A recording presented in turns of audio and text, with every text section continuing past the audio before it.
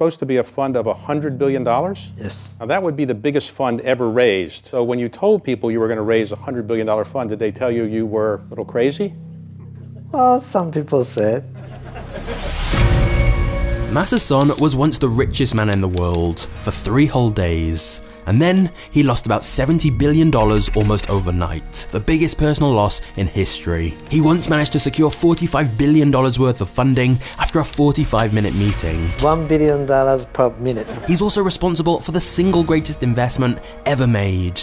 But on the other hand, many feel he's simply a crazy gambler who treats the economy like a casino, and that he's causing catastrophic damage. This is a man who once threatened to set himself on fire if he didn't get a business deal. A man who's invested billions of dollars in entrepreneurs purely based on the sparkle in their eyes. And yet, I love him. You see, I've recently been making videos telling the stories of totally different businesses, like Uber, Yahoo, TikTok, and yet Masa Son always seems to be connected. I feel like I'm in that movie where Jim Carrey starts seeing the number 23 everywhere. But for me, all roads lead to Masa Son. The majority of the world know extremely little about this man, but they should. He is quite literally changing the world and betting on our future. And his story is one of the most fascinating I've ever heard. It's inspiring, it's terrifying, and most of all, it's absolutely insane. Is he the world's most astute tech investor, or is he the luckiest guy on the planet? Masa Son's grandparents emigrated to Japan from South Korea by hiding on a small fishing boat. They had no food, nowhere to stay, and couldn't speak the language. Masa's start in life was similarly bleak. He was considered an outsider in Japanese society because of his heritage, and his childhood classmates threw rocks at him. His father barely made enough to get by, and did any odd jobs he could to make money, from raising pigs to selling illegal liquor.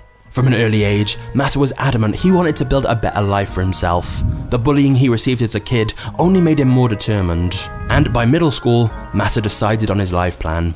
He wanted to become Japan's most successful businessman. He idolized a man named Den Fujita, who had brought McDonald's to Japan.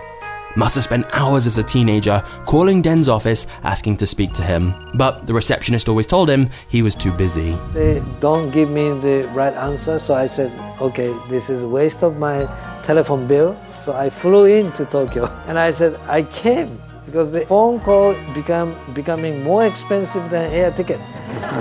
Den was impressed with this kid's conviction and that he'd flown to his office to see him. He agreed to a 15 minute meeting with Masa, who asked him for advice. Yeah, I asked him, what business should I do? Hmm, computer, that's the one. Den's other recommendation was simple Masa should go to America. Masa immediately took this advice to heart, and at the age of just 16, he went to California to pursue his business dreams. He brushed up on his English, then went to an American high school. However, just a few days in, he realised this was taking too long and convinced the school to let him take the college entrance exam early. Now, whilst Masa was very bright, he wasn't really ready for the exam, but somehow he just managed to scrape through. So, less than a month after enrolling as an American high school student, Masa graduated and went to study economics and computer science at the University of California. Of course, he also needed money, and he asked his friends if there were any jobs where he could make $10,000 a month but only work 5 minutes a day. His friends obviously thought he'd lost the plot. So I said, okay, what is the best, most efficient use of my time? It's invention. So I set alarm clock five minutes. Come, invention, come, come, right? Masa spent five minutes every day coming up with new invention ideas, so he could patent them and sell them on. Of course, not all the ideas were great, but there were some gems in there, because Masa realised there were three approaches to coming up with ideas. The first was to search the solutions to problems he had in his life. For example, when his round pencil kept rolling off the table, he considered a square or hexagonal pencil instead. The second approach was looking at things from the opposite perspective, like taking something big and making it smaller, or taking something red and making it white. For example, he came up with a traffic light with different shapes, so colorblind people could tell which phase the light was on. And his final tactic for ideas was combining existing things, like merging a radio with a tape recorder to get a radio cassette player. By the end of the year, Masa had a book with 250 different invention ideas. Masa decided the best of them was a pocket-sized device that translated text into different languages. He then found a physics professor who agreed to help him build a prototype. Masa then started spending all his time pitching companies to buy his new device, and he paid another Asian student to take his places in the lectures that he was missing. Eventually, Masa found a company called Sharp who agreed to buy the device patent for $1.7 million. So at the age of just 19, Masa was technically now a millionaire.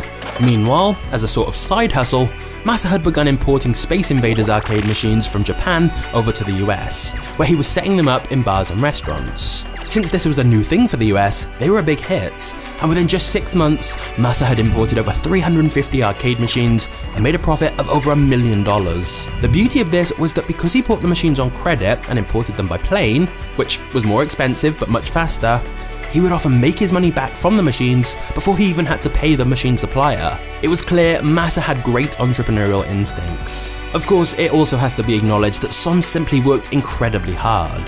There's understandably a lot of talk about the negatives of hustle culture, but Son worked seven days a week, sleeping as little as possible, because he enjoyed the process, and clearly it was paying off. Right after I graduate, I went back to Japan because I promised to my mother that as soon as I finish my college, I will be back to Japan. So I kept my word. Masa knew he wanted to use the money he'd made in America to help build an even bigger business in Japan. He began brainstorming new business ideas and mapped out 40 potential businesses he could start, then ranked them based on different metrics. The best scoring idea was a company that distributed computer software, and thus he created a new company called SoftBank.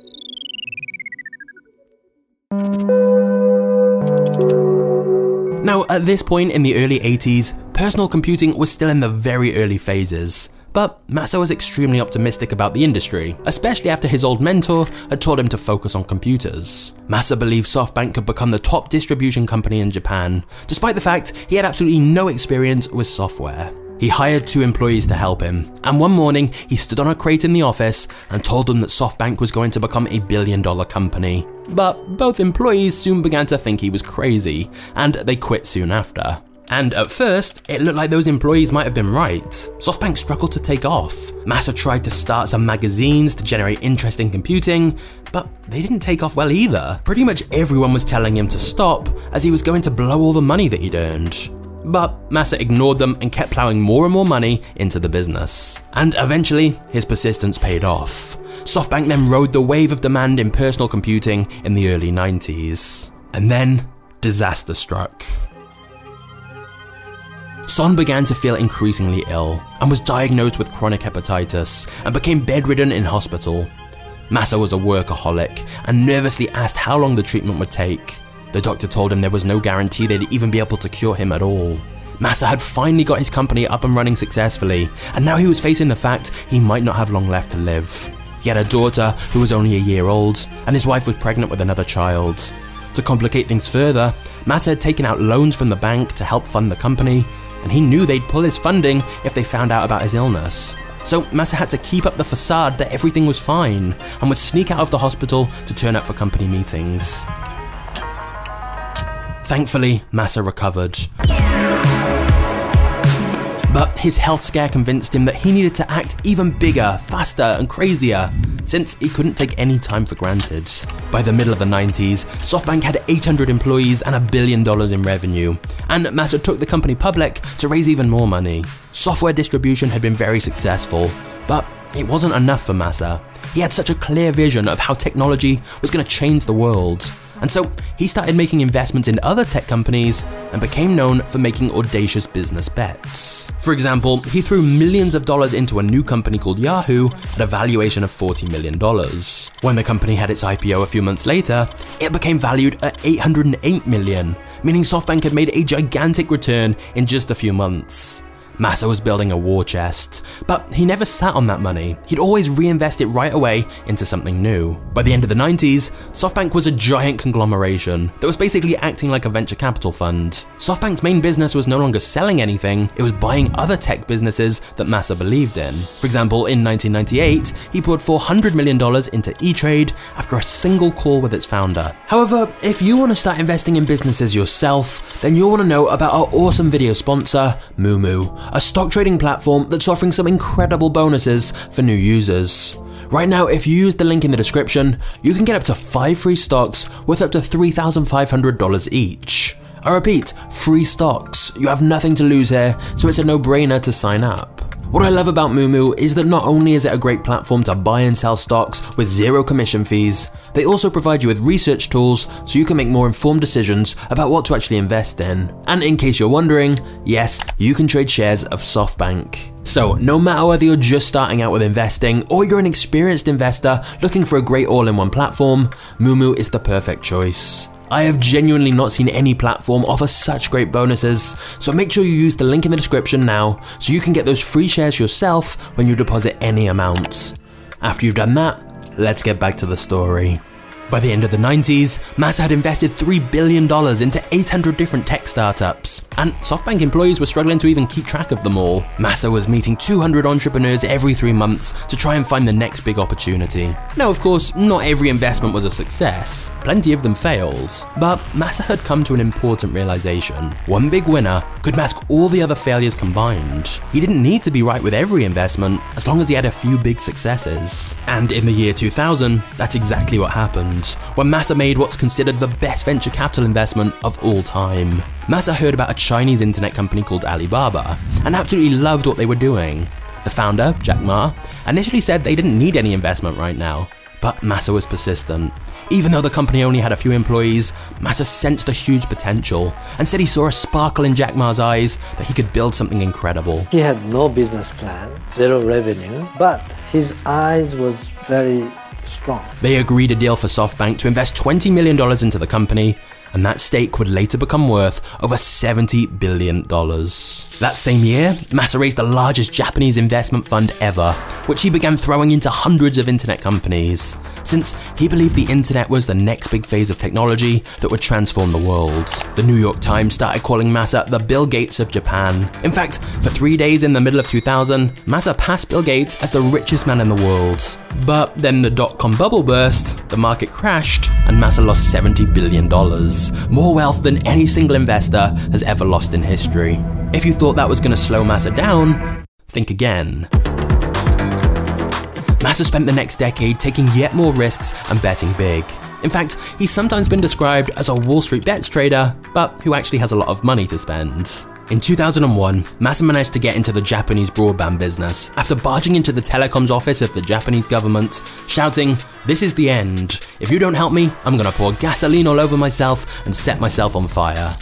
Masa then launched a broadband service in Japan at half the price of competitors. And even though this lost hundreds of millions of dollars, Masa believed in the future they'd be able to make a profit by offering add-on services. Although he was very vague about when the business would actually be profitable. He reportedly had saleswomen in striped miniskirts handing out free modems on Tokyo street corners. Like with many of Masa's projects, the focus was simply rapid growth and gaining market share. Profits would come later, hopefully.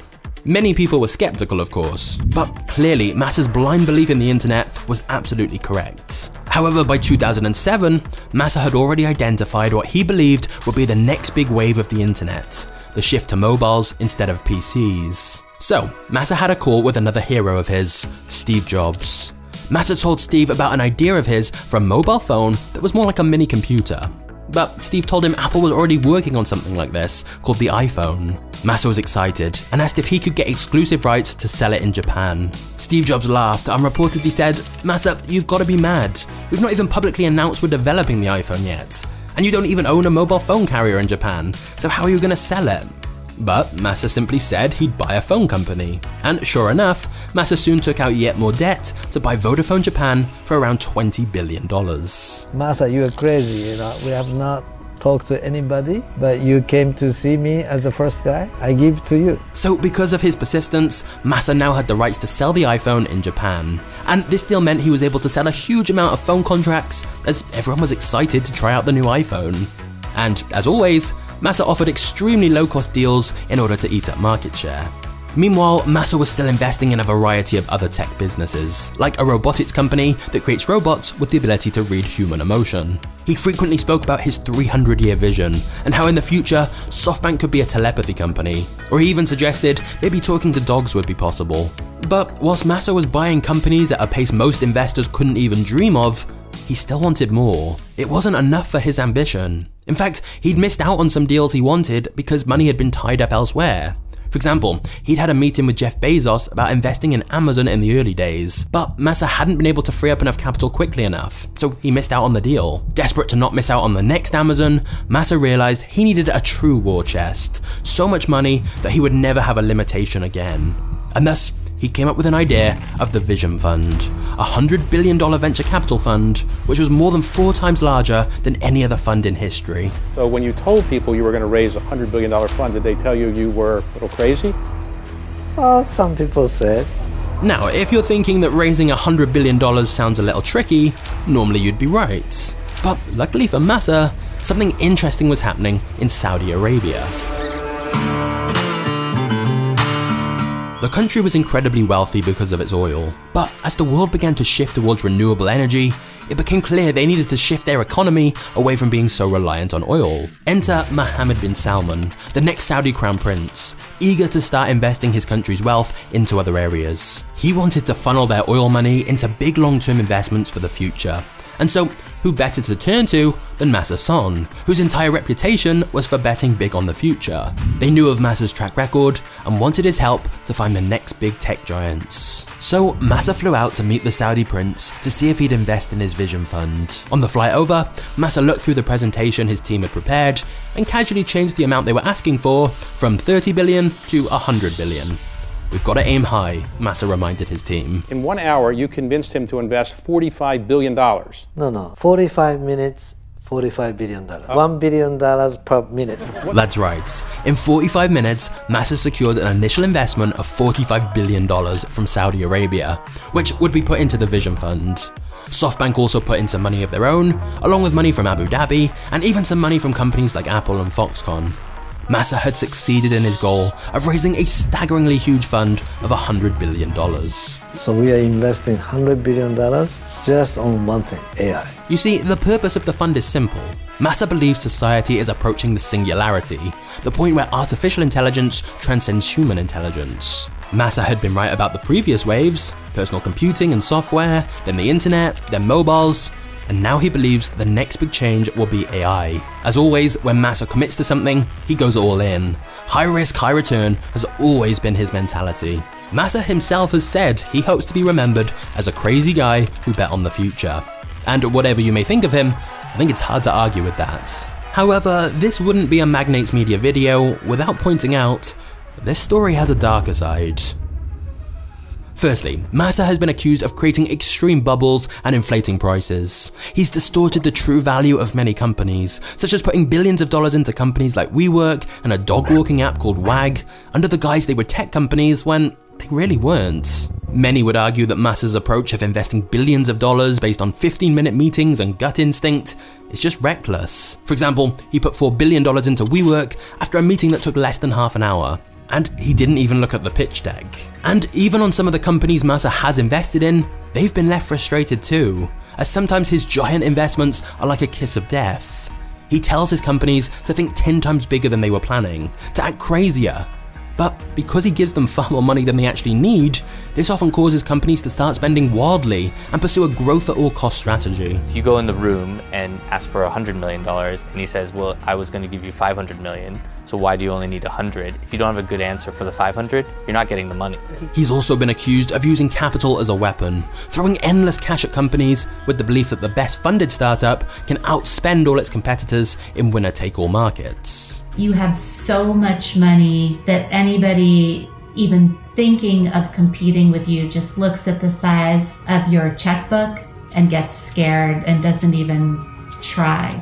But this means the companies he invests in don't actually focus on building a sustainable, profitable business. And some of those companies also complain that Masa would shower them with attention at first and then find a new toy and move on. There's even accusations that if companies try to turn down Masa's money, saying they don't need it, he'll threaten to invest in their rivals instead, in order to force companies to accept his investments. And in some cases, he invests in rivals anyway, like the fact he invested many billions into Didi, Uber, Grab, and other ride sharing apps. And it's not just private companies where SoftBank has distorted the price. They were recently found to be the NASDAQ whale behind billions of dollars of call option trades on public tech companies. Basically, Masa has such huge amounts of money, he can literally move markets by plowing billions of dollars into call options.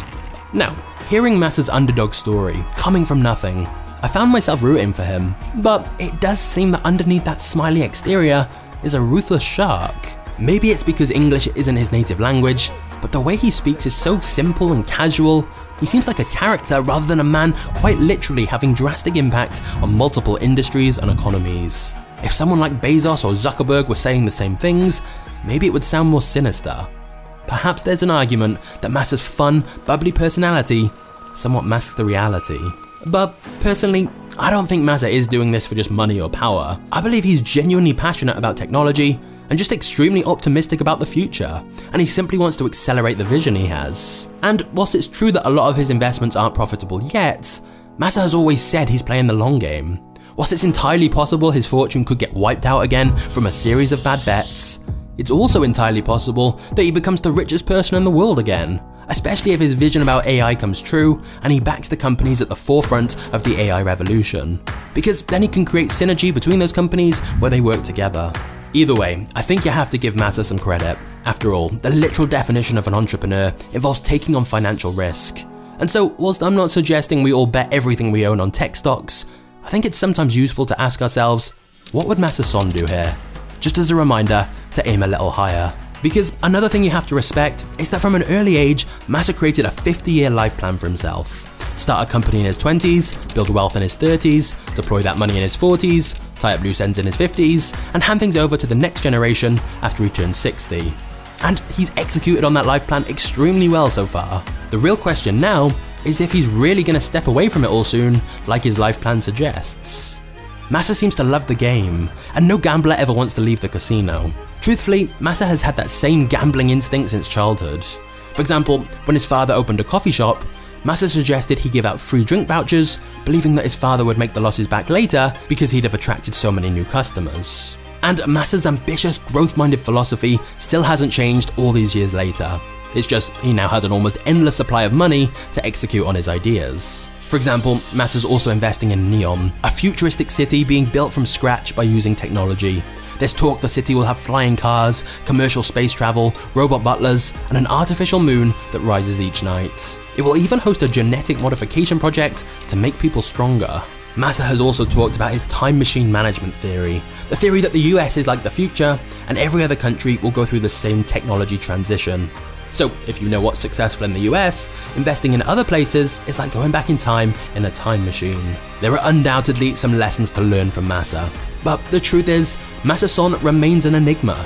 Is he one of the most shrewd investors and businessmen ever, with a vision of the future many people just aren't yet appreciating? Or is he a lucky gambler, destroying venture capital and manipulating markets? The debate over whether Masa is crazy or a genius will continue. But I say, why can't he be both? This is definitely an exciting life. I'm, I'm having fun. Wow.